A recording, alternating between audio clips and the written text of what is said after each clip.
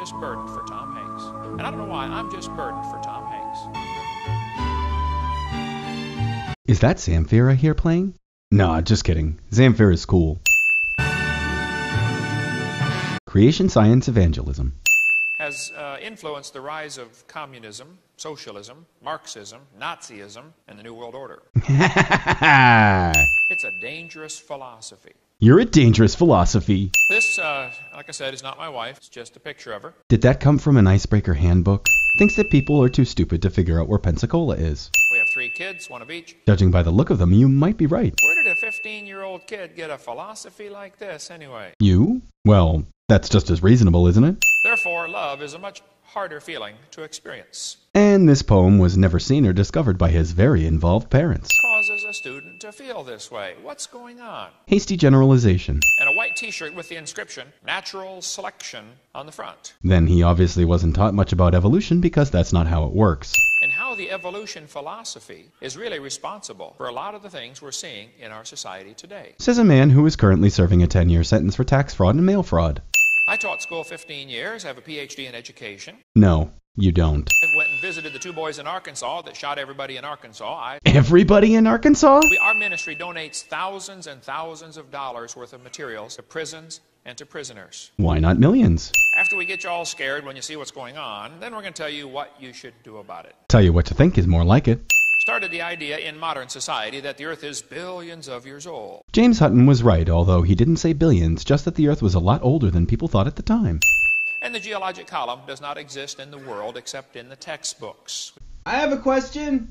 Why are you such a tool? And the theory of evolution that changed us from a Christian to a pagan nation. What? Now, we'll quickly say America is also a pagan nation. No, it's very Christian, just that most Christians aren't stupid like you. Charles Darwin, who wrote the book Origin of Species, and there's more to the title, we'll cover that in a minute. I'm calling it now. You're gonna say that having the word races in the title meant that he was racist. There are more people born than can possibly survive. So it's best if the weaker die off. Charles Darwin would have never agreed with such a statement. After all, if there is no God, well, then we must be God. Argument from consequences.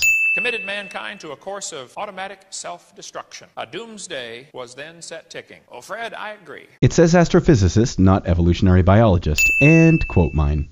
Who am I? Where did I come from? Why am I here? Where am I going when I die? I don't know. Philosophize with him. All we are is dust in the wind, dude. Evolution tries to offer four answers to those four questions. Dust, wind. Dude, It's incredible design. There must be a designer. That's the creation worldview. Calling it design is begging the question. You know, there's amazing. It's a Big Bang made this from nothing. That's the humanist worldview. Straw man. That's the first plank in the Humanist Manifesto. And nothing at all has changed since 1933. Humanists have no knowledge of any being more supreme. Quote mine. People get this idea I am God. Godwin's law. God. I'm God. I'm God. I'm God. I'm God. Hey, Gabriel, come and listen to this. Ha ha ha. Ha ha! No, no, no. I've got a better one. Omnipotent God tells the entire magnificent universe that it shouldn't masturbate. Fundamental question Who owns the world? Nobody. Might makes right. I could go on a lengthy diatribe about Plato's Republic and why that's false, but I'd bore you to death. You are either going to serve the Lord or you're going to serve the devil. Satan it is! Bottoms up! Too bad Satan's not real. And I read the last chapter, and we win. You fucking smug asshole. This is the man that made the world as a wilderness and destroyed the cities thereof and opened not the house of his prisoner. According to most scholars, this verse is talking about the Babylonian king at the time. Ye shall be as gods. He told the truth. I mean, 72 mother in laws. That's not heaven. Okay. Uh, That's sexist. and the beginning of the golden age, when those possessing the will to dominate and conquer would ascend to godhood. Funny how one rich con man will always denounce another. Now, the Bible says, Beware lest any man spoil you through philosophy and vain deceit, after the tradition of men and the rudiments of the world, and not after Christ. That's it, kids. Reasoning is bad for you. Love of man's wisdom, philosophy. It actually says the love of wisdom. You added the word man's. Then the colored man must be less evolved than others. This is a quote mine from Charles Darwin. Read the next line, people. He denounces the idea. Darwin just simply made the theory popular.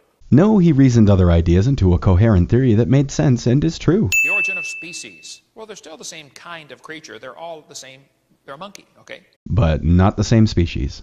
On the origin of species by means of natural selection or the preservation of favored races in the struggle for life. Told you guys, now let's listen to the sounds of Zamfir the pan flutist.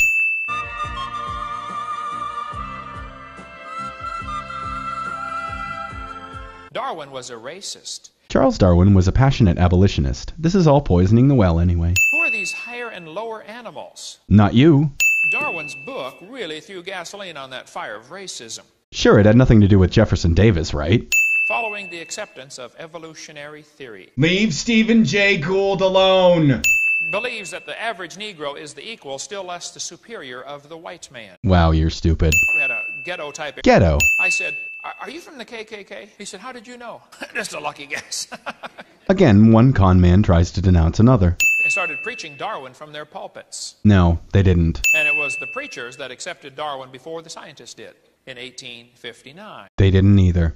I said, That would be great. Which Lord would you like to talk about, yours or mine? Oh, there's only one Lord, the Lord God Almighty. I said, No, no, fellas. You have a very different Lord than I do. No true Scotsman. I said, Fellas, I taught biology and anatomy for years. No, you didn't.